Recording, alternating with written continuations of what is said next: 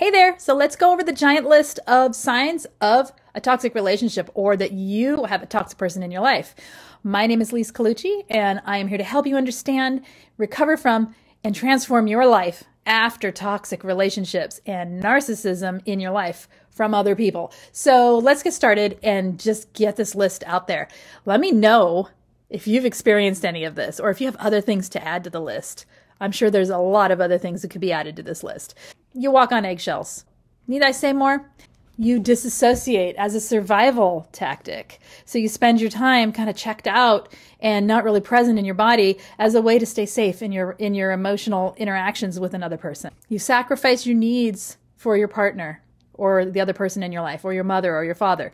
You sacrifice your own self and you don't have boundaries in that place of, of self sacrifice. You have pain, health, and other issues with your body that seem to worsen with the stress from being around that person. You mistrust others.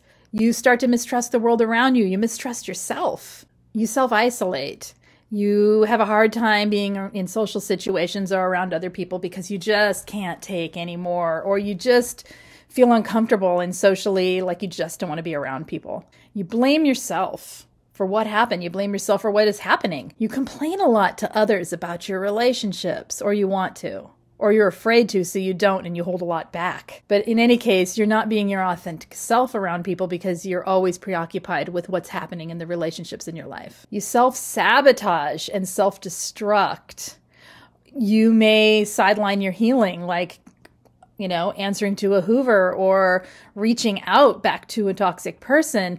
And that's a sign that you have been conditioned and groomed and are trauma bonded to that person. You fear positive things. You fear being successful or having success in your life or having friendships or having happiness because you're just waiting for the other shoe to drop. You might be protecting the toxic person in your life and making excuses for them and enabling the behavior through pretending it isn't happening or making excuses, like I said, so that you're kind of avoiding the situation of what's actually happening in your life. The relationship you're in, or the parent that you have, or whatever it is in your life, lacks compassion, care, and empathy coming towards you. You deal with, in this other person, whoever they are in your life, a very confusing, childlike, conflicted conflict style that makes no sense to you.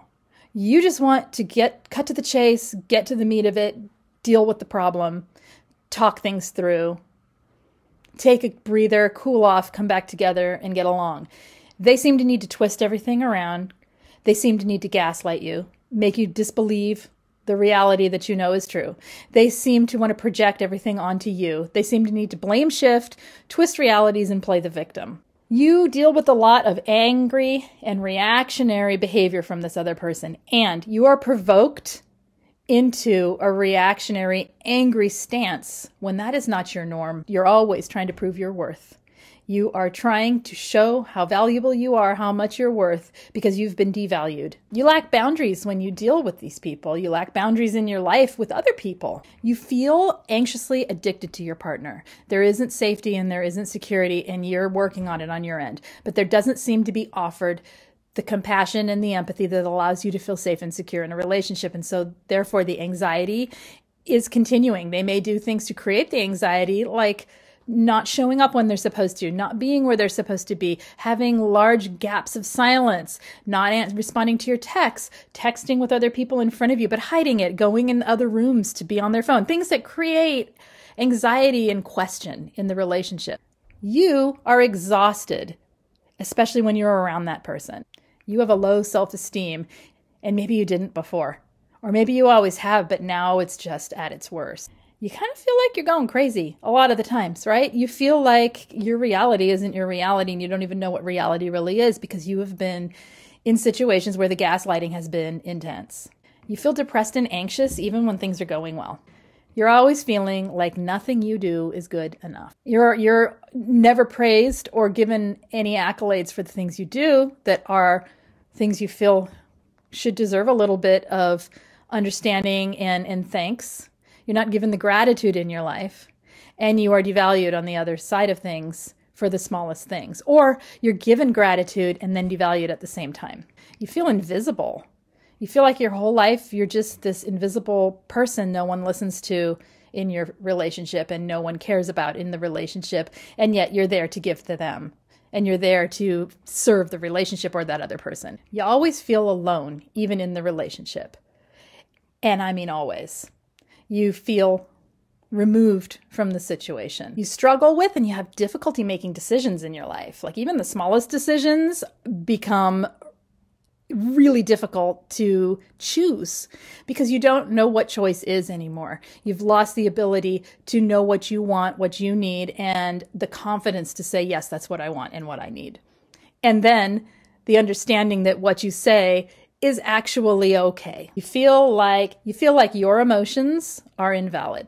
You feel like your feelings, your hurt, your anger, your frustration, your confusion, your sadness, all of it is invalid. You've been told you're too sensitive. You've been told that you always take things so personal. You've been told it's not about you. You've been told all kinds of things that invalidate the feelings that you're having. And know that, you know, when that's happening, that's a form of gaslighting and that is a form of dismissal so that the narcissistic person doesn't have to take accountability for anything that had any contribution to those feelings.